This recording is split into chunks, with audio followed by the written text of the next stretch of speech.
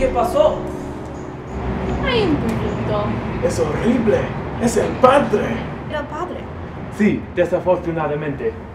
Yo le encontré aquí después de recibir el mensaje de texto. Yo recibí un mensaje también. Todos recibimos el mensaje. Es de José. ¿Qué quiso decir el padre? No sé.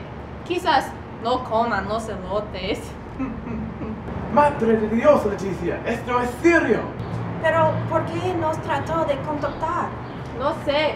El padre es...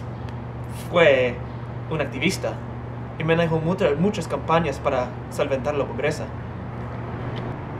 Supones que... que el padre... ¡Estaba asesinando! ¿Asesinando? ¿Por quién? Nosotros necesitamos averiguar.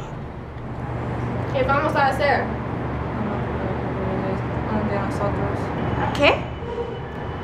Ella dice que el matador podría ser uno de nosotros. Yo tengo su celular. Él tuvo un horario por hoy. ¿Qué lo dice? Las 11 a las 12, caminar en el parque. Las 12 al 1, la iglesia. Ah, mi teléfono no funciona. ¿Qué es la hora? Los doce y medio. ¿Y después? El mercado. ¿El parque en el oeste? Yo he estado ahí. Yo también. Es donde observo las plantas. Debemos explorarlo. Yo puedo investigar el mercado. Vengo también. ¿Qué hacemos? Buscar para evidencia. Vámonos.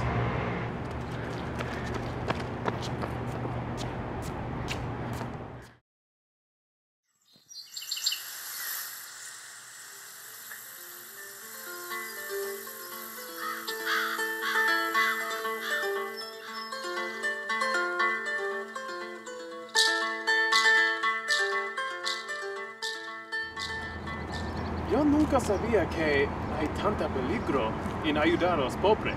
Ese tipo de trabajo puede tener muchos enemigos. ¿De veras? ¿Por qué? Porque la pobreza es uno de los problemas más serios aquí.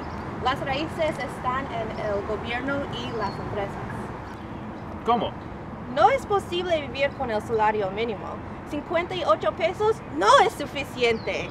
Si el padre tratara de cambiar el salario mínimo, tendría muchos enemigos en el gobierno y las empresas. Sí. Y además, el gobierno... Y además el gobierno es muy irresponsable, especialmente con asuntos de dinero, como este parque. ¿Qué? Este parque costó mucho dinero para construir, es una pérdida de espacio y dinero. ¿Qué? No. No, sí, sí, somos muchos millones amontonados y, y co- concentrados en la ciudad. Neces- Necesitamos expandirnos. Y parques como este gastan demasiado espacio. Pero necesitamos proteger el medio ambiente.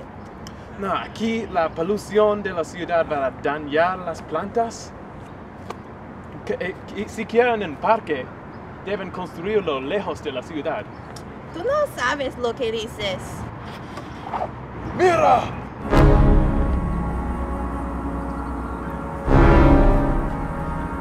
¡Híjole!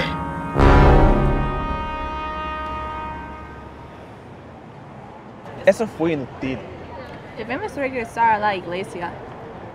No puedo creer que, que alguna persona mataría al padre dentro de la iglesia. Este barrio puede ser muy peligroso. Hay tanta droga y tanta maldad. El padre me dijo que en su primera parroquia había un muerto cada semana. Sí, es muy mal. Y el gobierno no está. Esto es porque nosotros necesitamos combatir la pobreza. De esta pobreza viene el crimen. Tenemos que salvar a los niños en la calle. Son los rescatables.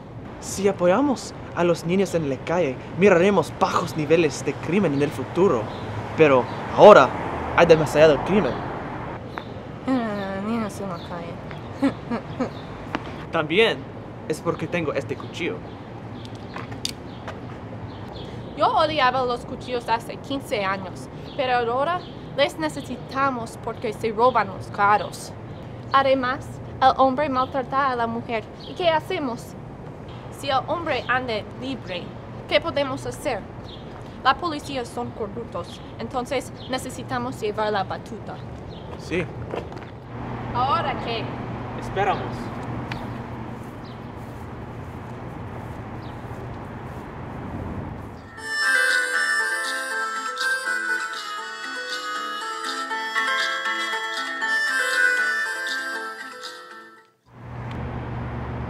Ustedes revuelvan. No podrías creer lo que descubrimos. Encontramos Ruth en el parque. ¿Muerto? No, no, no, no, no. vivo. Pero muy, muy borracha. Hemos llam- llamado por una ambulancia. Ahora tenemos que averiguar quién lo hizo. Yo tengo una idea. ¿Qué?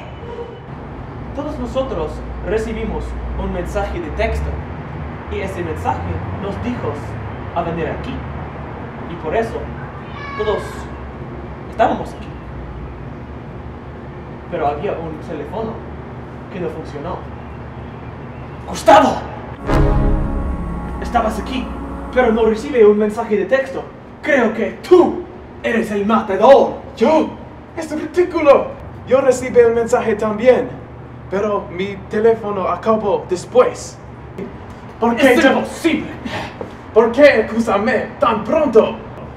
¡Eres el matador! Parece- quizás tú eres el matador.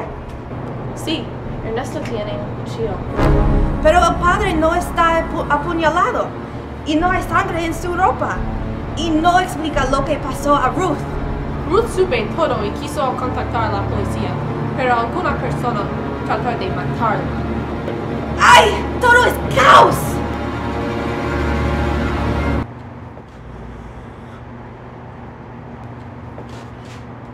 Hola, buenas tardes. El padre. Creemos que estabas murió. ¿Murió? No, durmiendo. ¿Qué hacen ustedes?